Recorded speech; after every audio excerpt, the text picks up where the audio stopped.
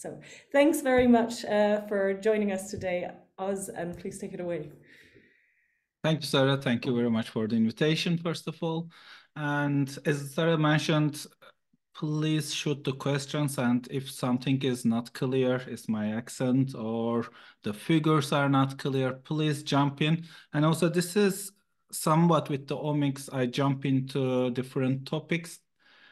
I feel new in everything I will be talking, so please excuse. Uh, actually, please jump in and give your opinion. I would love to have that. So my lab is working on the in the uh, intermediate of the neurodegeneration and aging. And first of all, I wanted to thank the people who did the work. Uh, Peter Kat Peter is the postdoc who did this uh, spatial transcriptomes. Catherine, amazing PhD student. Tuğberk, done the nature neuroscience study with Laura. Simon, uh, graduated, my first PhD student, and we kind of, uh, two of us build up the most of the thing, and the rest of the team and others I need to thank.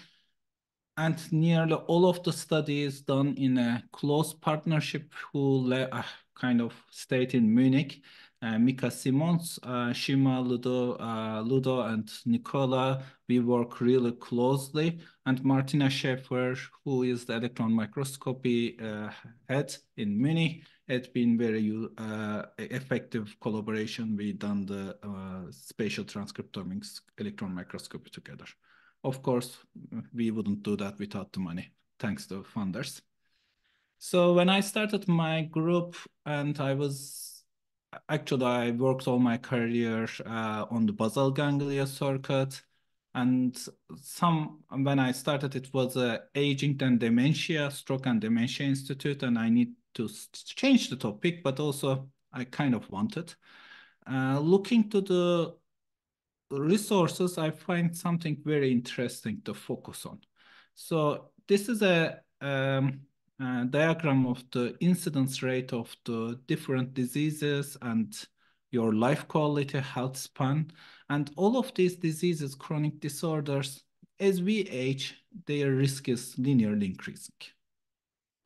Except something interesting happening on dementia. If you look to the dementia, it starts with a slow slope, and then there's an inflection point around 65.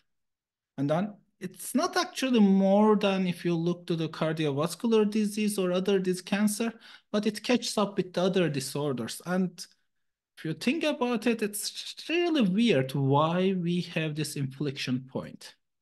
And to be honest, I just didn't know so much. And then looking to the studies, what we found is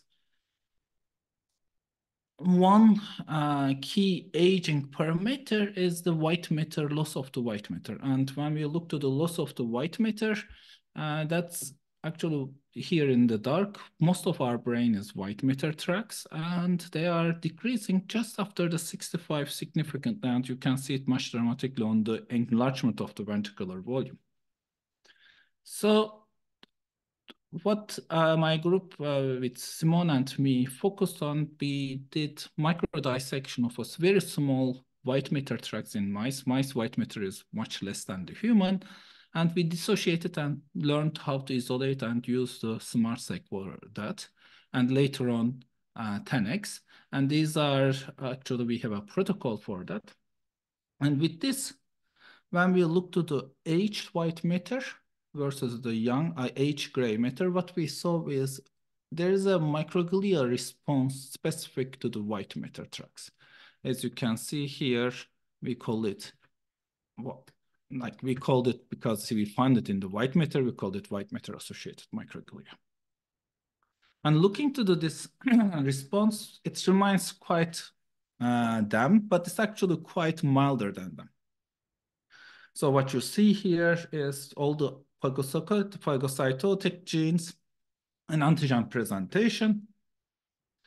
And uh, then we see the, a lot of neurodegenerative disease-related genes upregulated and loss of the homeostatic genes. If you compare to that to the DAM, actually this induction is quite moderate. when we look to these uh, cells in close, these are actually not single cells in a way. Here you see four or five of them combines together and they are filled with myelin, digesting myelin in the white matter. And here you see in the ventricular zone, there are a lot of them. And in the electron microscope as well, we see the uh, this microglia uh, walls, uh, microglia nodules. To understand a little bit mechanistically, we decide to look are these, we decide to look to TREM2 knockout because TREM2 is, as you know well, is a one of the top uh, Alzheimer disease risks. But actually, if you uh, look to the people that lost both of the TREM2 alleles, no uh, loss of function mutations have, they develop Nasu-Hakola disease, which is marked by the loss of the white matter. And from this, we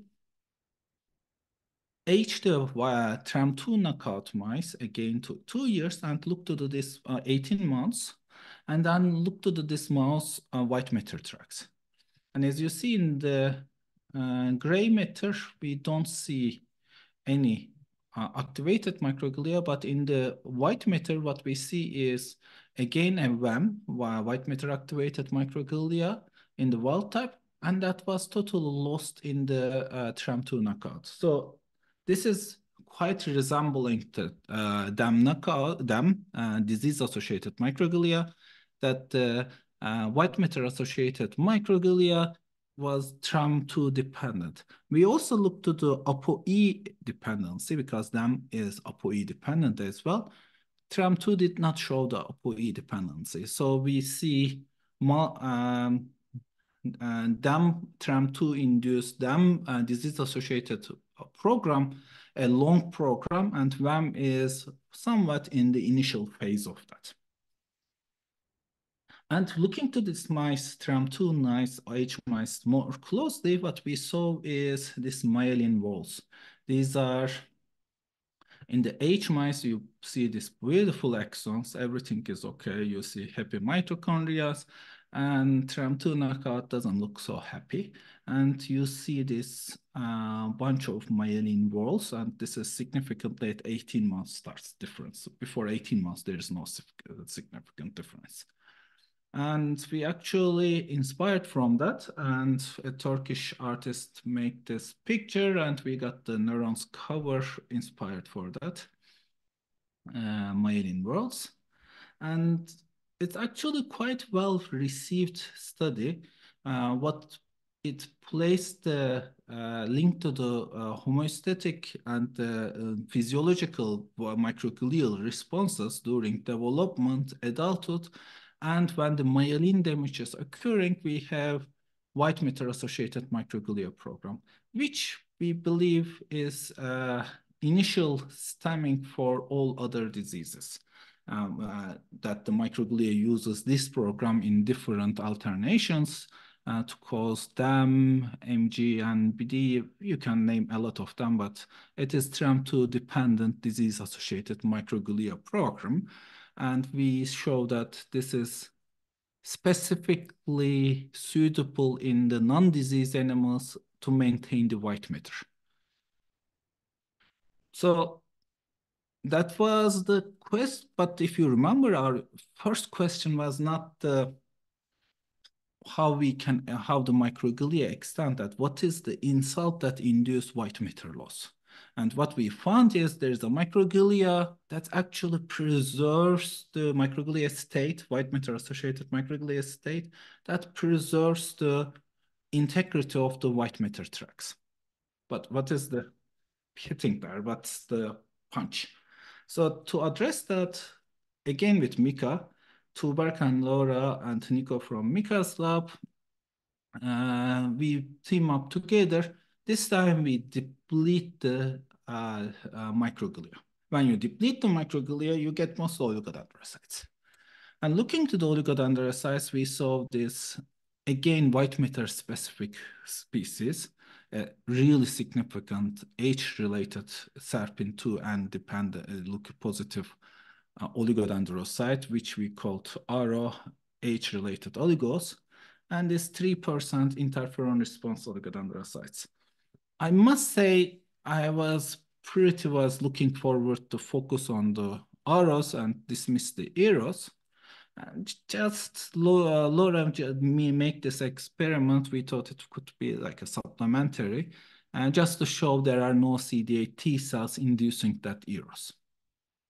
And she actually came back and uh, there are always T cells. And we were like, what? We don't like the, is the staining true? Because we brain immune privilege, little, as I said, I'm uh, immunologist in training. And we were really surprised there are T cells in the uh, brain inducing that effect. And we done a careful characterization of the T cells what we saw is at three months, we were right, there were no T cells and maybe no staining.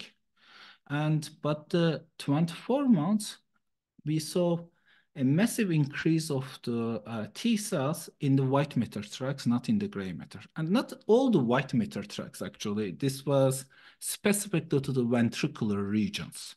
And there's nearly 90% of these T cells were CD8. It's we see an increase of the CD8 ventric uh, ventricular white matter tracts. Uh, and this is includes neurogenic niche as well. And there are many studies also show similar results from Anne Brunet and others. So that kind of made sense.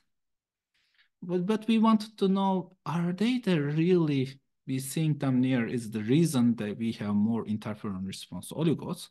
We take advantage of the um, uh, we take advantage of the uh, cancer drugs, uh, checkpoint inhibitors, and we treated both checkpoint PD-1 and CTLA-4 for six weeks. And we saw tenfold increase of this interferon response population. And to show on the opposite side, we took out of the uh, immune system by getting Rag1 knockout. Rag1 is the uh, recombinase that makes this TCR, BCR recombination and required for functional B and T cells. And we age this mice two year. Yeah, again, two year. Uh, and we looked, we did the single cell transcriptomics and what we saw is interferon response oligodendrocytes were disappeared in this uh, H mice. Uh, so we have very little or non-interferon response uh, on the uh, on the Rag-knockout mice. But what does it mean? We are talking about 3% of a white matter tract oligos. Does it really make a importance? To understand, to ask this question, we look to the Rag1 knockout and versus the wild type 24 month old mice, oligodendrocytes. Here, CC1 is labels the oligos, and you can see uh, the, this counting of the oligos.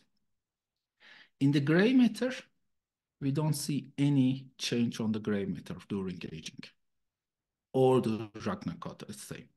But during, uh, in the white matter, we see a age-dependent loss of uh, oligodendrocyte density, and that was rescued that was really cool because actually was scary cool because that's what we set to start and vascular there were a lot of hypotheses we have why the white matter is shrinking and Rag1 knockout rescued it the kind of we were skeptical. Reviewer was also skeptical.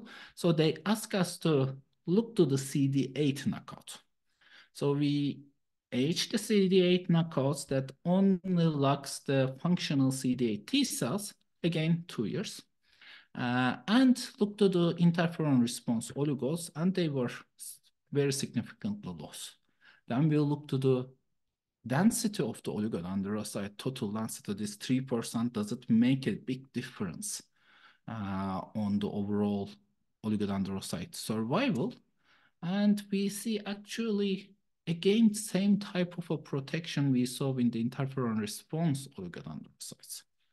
And, and this is actually really a uh, few months later, uh, Adrian Liston from UK come up with uh, another paper. Instead of he depleting this uh, T cells, he introduced Tregs into the nervous uh, aging brain and show almost similar phenotype. And we were like, whew, yeah, that's, and like, and these studies, I think both of them should be recognized in parallel because uh, aging studies takes forever. Uh, and that was really convincing seeing multiple groups showing this effect.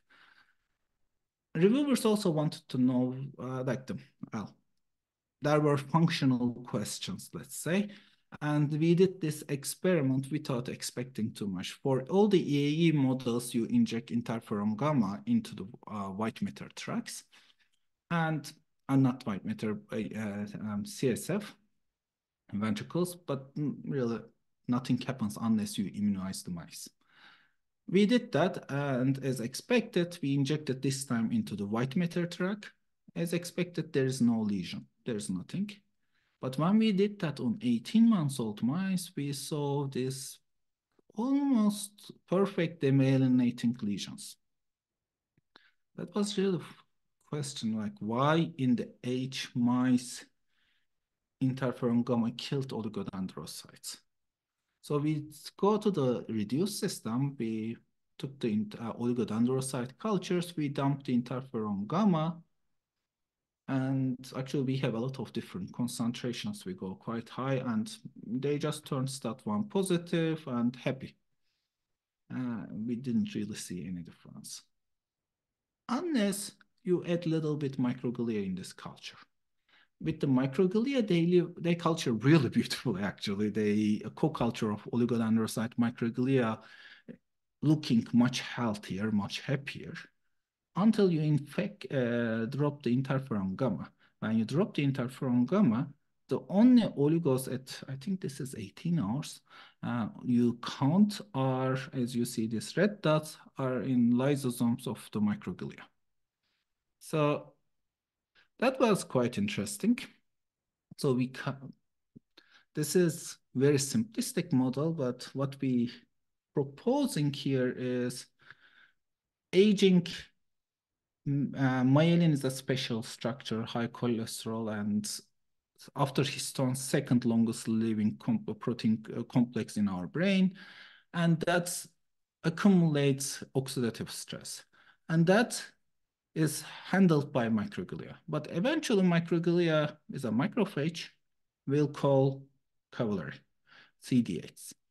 And but that's in the brain, they don't survive too long, but it's enough to induce some interferon response microglia and microglia at that age is little bit PTSD maybe.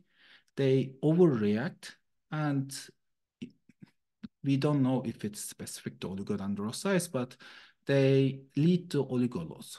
And when you lose the oligodendrocytes, what you can still neurons communicate, but that will cost them 5,000 fold more. And that might be the initial metabolic uh, that what we see in the, the neurodegeneration. There is a peak of uh, brain metabolism increased, energy demand increase, and then it collapses. Maybe that collapse is caused by the demyelinating and myelin uh, microglia dysfunction. So this was, uh, we didn't work on neurodegeneration, so this was a surprising uh, direction. We are now working on uh, JAK-STAT inhibitors, and we saw in the Alzheimer's disease models they are protective, but a really key study came and that was quite stunningly uh, showed uh, what we our direction is mm, mm, um, not uh, not well that was i was pretty shocked when i saw these results so the uh, david holtzman has this model which is uh, which express uh, APOE4 together with mutant tau and the mouse develops this severe uh, atrophy of the brain. You see the ventricular enlargement compared to the uh, normal mice. And what they did is, and this mouse had been subject to a lot of tests and more 10% improvement is the nature paper. Uh, but what they did this time is uh, before the onset, two months, they depleted the T cells with anti-T CD3 and CD8 antibodies, CD4 and CD8 antibodies. And then they looked to the ventricular enrichment. And as you can see, black and white, and also the very significantly here, the mice was rescued almost at the uh, certain parameters. This is really shocking because as a neurodegeneration scientist, what we learned is protein aggregations, neuron die, blood-brain barrier collapse, and T cells comes to see the scene. So they are morely, mostly uh, forensic cell types coming after the whole events, whole the action is done. Here and in the aging, what we see, T cells are being effectors that leading to neurodegeneration. They are very rare. So that's why we kind of could ignore them because you actually see in every third section one or two of them. So you can, if you are doing stainings, it's very easy to ignore them. But with that uh, help of the uh, single cell and the high throughput result, uh, analyzers, we capture this kind of events. So coming back to where we start, it is not that T cells are bad because uh, there are a lot of people also show that T cells maintain brain homeostasis, maintain protein aggregation, activate uh, microglia to clear up the uh, protein aggregation. But what we see here is at least uh, in certain models, CD8 entrance and uh, survival in the brain overlaps with this inflection point and both uh, tau, tau APOE4 model and the aging models we saw, if we eliminate that entrance, we can flatten this curve.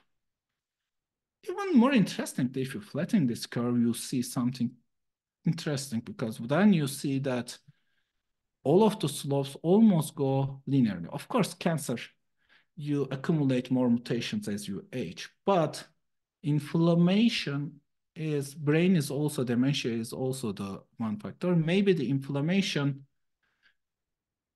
accelerates our aging and this T cell and adaptive immune system privilege of the nervous system keeps that dementia risk on this low slope.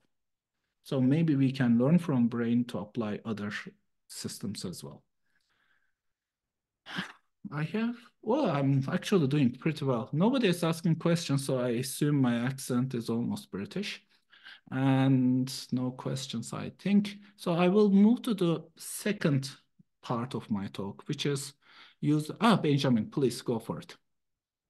Hi, hi.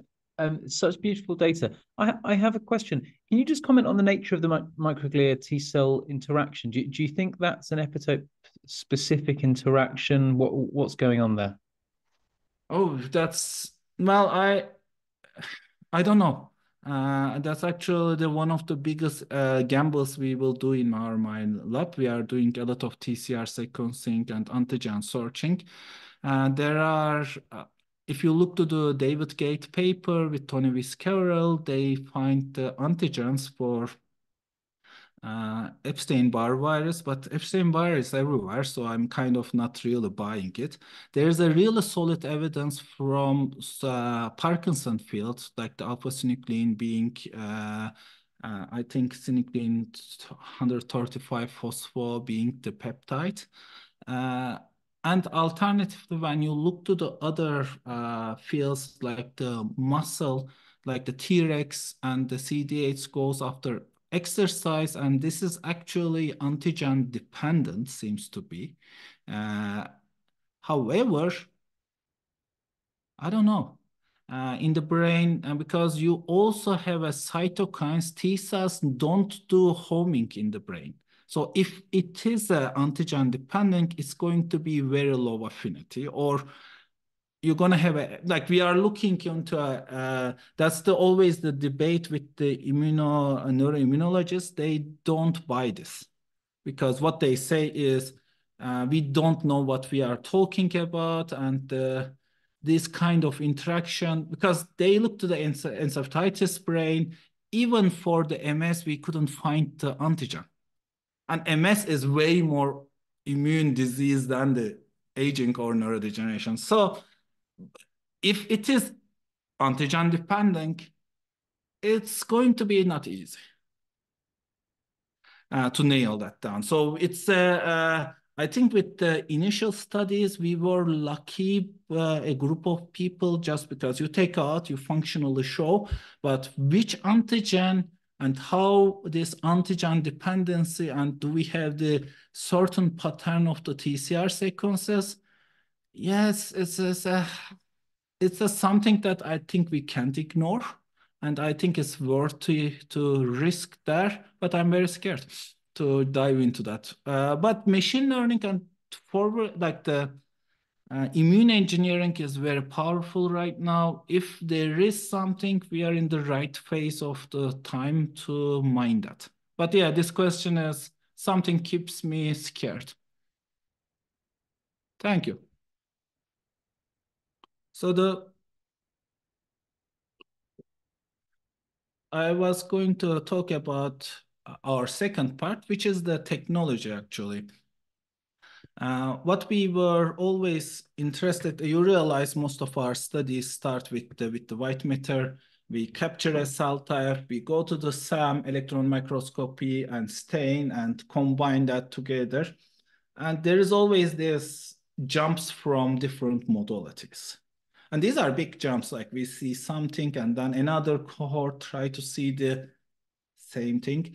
Instead of that, we thought, well, there is now this MERFISH uh, technology and electron microscopy. Can we do them together on same section? And no, we can't. Electron microscopy is special.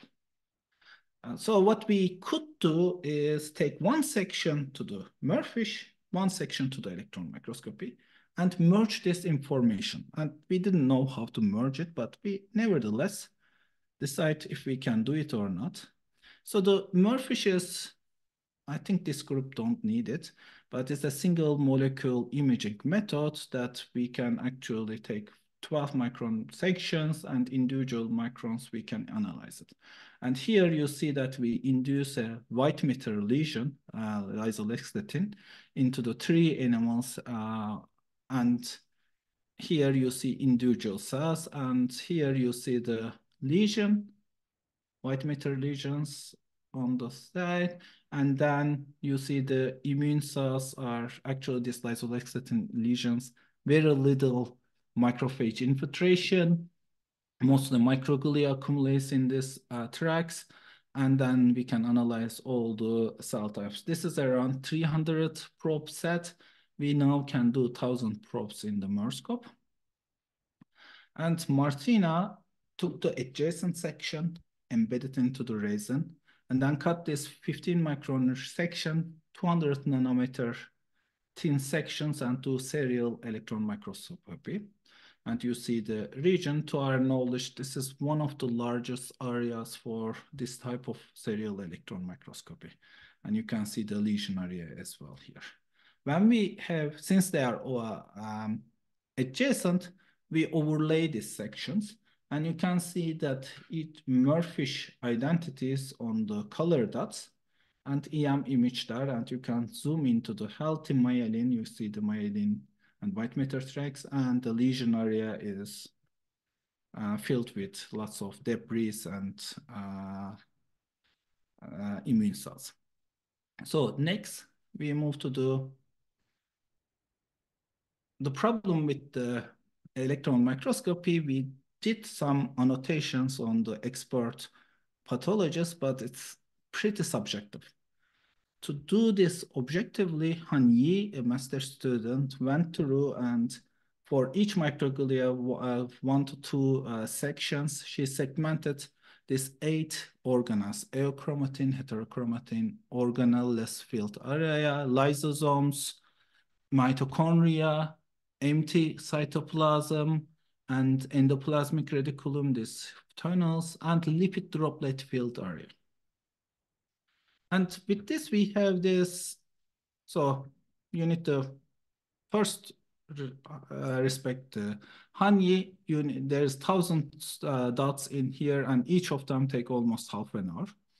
And but that gave us the opportunity first time cluster the lesion cells, which are mostly microglia, and except the cluster four, uh, based on their ultrastructure. So here you see the UMAP of the microglia uh, clustered unbiasedly based on their ultrastructure. We tried uh, machine learning uh, segmentation, didn't work in our hands. So if you look this data, what you see is cluster four is, uh, uh, cluster five is filled with this lipid droplet filled area, these white spots. And when you look to the lipid droplet, the cytosol area, it's clearly marks that. Then cluster three marks mitochondria to ER. And when you look to the cluster three, it's actually uh, interferon response. No, basically, uh, this is interferon response microglia, and we saw that mitochondria to ER length is marking them. I have no clue what does it mean. Nucleus to cytosol ratio marks this cluster four, and these are the T cells in, um, in the lesion area clustered in here. One interesting thing here is uh, one interesting thing here to mention, DAM, disease uh, damage associated microglia area is cluster zero to two. What you see there is first mitochondria at the cluster zero increase and cluster two also down. It decreases at the cluster two and then lysosome to cytosol ratio is increasing you can think about what does it mean, but it kind of makes sense and it opens quite a bit of senses. Uh, uh, blind to the segmentation, uh, the, our neuropathologists annotate, uh, uh, Martina annotate uh, each cell, um, 200 of them. And here we see the correlation of her annotations and the clusters. So you see the T cells is the cluster for, so that's why we know which cluster is what. And now we have, I didn't mention you, I took it out for the time, but actually I'm doing fine. We had also the single cell RNA-seq from the same animals. Uh, and we now have the MERFISH and single cell, and this is kind of a standard. We just integrated these two data sets. And then we had the problem of the EM. They are, they, we have no anchors there you can't really uh, combine that. So we decide something pretty simple idea. Neighbors share the information, so neighbors should share the ultrastructure and transcriptome. And for that, we take a maximum projection of the two sections as good as we can. And then we overlay this, uh, average the neighbors of the electron microscope to uh, and vice versa. So now we have two lists, one imputed ultrastructurally EM, one imputed transcriptionally. But two data sets, both of them are full of full data sets like we have all transcriptome and ultrastructural uh, values of these cells. So does it work? We kind of wanted to test that. And the first question we asked us, what are the cells, uh, what are the genes correlate with endoplasmic reticulum area? So we see that some cells are full okay. of Quick, sure. there's a quick, quick question in the chat. Can I? Uh, yeah, sure, sure. So it's uh, from Alex Fridas who's saying, uh, very interesting talk. Uh, did you notice any effect of the interferon responsive microglia on astrocytes in the white matter, or is the effect just specific to oligodendrocytes? No, we do have the actually it's we do have the astrocytes as well. Astrocytes are quite sparse in our single cell data and also the, in the white matter track. We have inter astrocytes and uh, so the basically in this paper also we have the T cells. Um, I took out of that too as well. They are also around CD8 T cells. Uh, there is a, uh, what happens is we have a interferon T cells clustered very tightly around them, uh, my interferon response microglia and uh, the inner core. And there's a larger radius of interferon response astrocytes and oligos. Mm -hmm. Since we were focusing in the white matter, oligos are sparse. So it was hard to work on them. But we see astrocytes there, but the T cells, since they are in the white matter astrocyte, white matter astrocytes are super interesting topic, but it's like the interneurons of the white matter tract, really hard to study. Okay. Uh, yes, we see them, but they are tough. Uh, they are one of the tough ones to get enough and to say something confidently. Interesting. So how sparse uh, percentage-wise in a single cell experiment? Uh, astrocytes, we get them, uh, actually we get astrocytes in the single cell. They are not so sparse, but when you image and other things, we still get them in the normal white matter tracks, but not as much as oligos. Like the, it was, we went for the easy, well, we went for the easy one. But I, I think it is not, actually, I don't know. We, uh, we attempted to do the experiment with the microglia oligodendrocyte and then at the astrocytes if it is specific to the oligodendrocytes. Then you can think about many uh, MS to other disorders. If there is such a preference, you can actually make sense and if astrocytes avoided. But I moved and we didn't do these experiments. Okay, great. Thanks.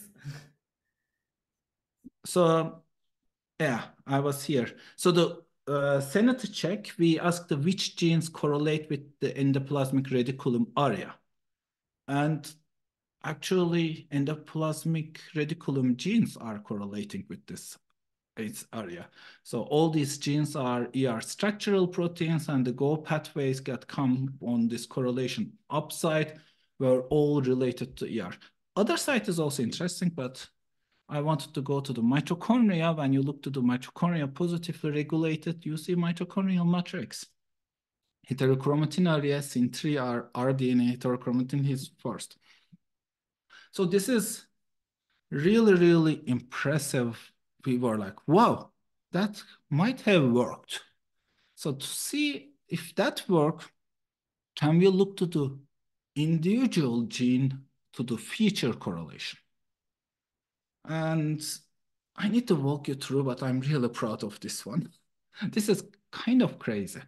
So here, focus on the first uh, center. It's just Spearman correlation. You see the genes and you see the features that we measured, electron microscopy.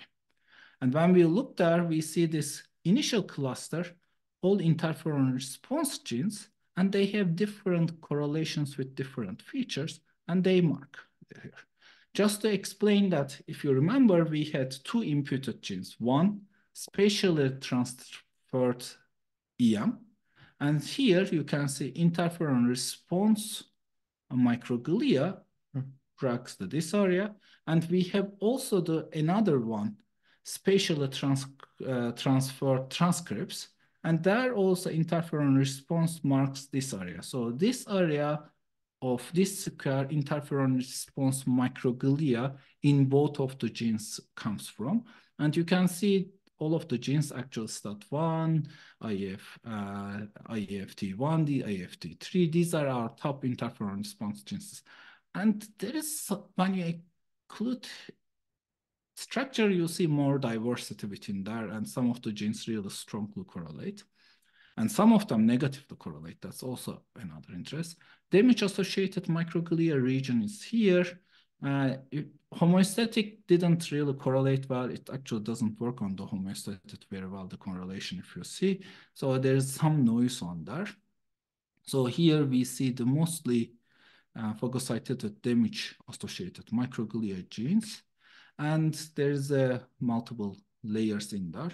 But when you look to the last cluster, which is very well uh, localized, you see the uh, uh, foamy microglia. We call it foamy microglia because GPNMB, ApoE, and these guys are full of uh, lipid droplets so they are foamy and the name comes from foamy macrophages and they share actually the similar uh, markers of the foamy macrophages in atherosclerotic uh, plaques. And GPNMB is uh, uh, Parkinson G, ApoE is probably the biggest Alzheimer risk gene and they are strongly marking that, linking to the lipid metabolism, white matter to the many diseases and this population. And that was actually our major goal to nail down in this uh, study. So I'm in the 45 minutes mark, so maybe I can stop here if you have some questions. And we can actually, so the, yeah, that's the, practically my group right now is trying to, one second. So we try to include uh, spatial transcriptomics and train machine learnings. We we're trying to include uh, other spatial technologies, spatial proteomics and lipidomics into the, this picture. But yeah, the, I think the spatial is really exciting. So that's the uh, that opens up quite like for me it was really shocking that it actually worked this kind of uh, integration just using the uh, adjacent sections.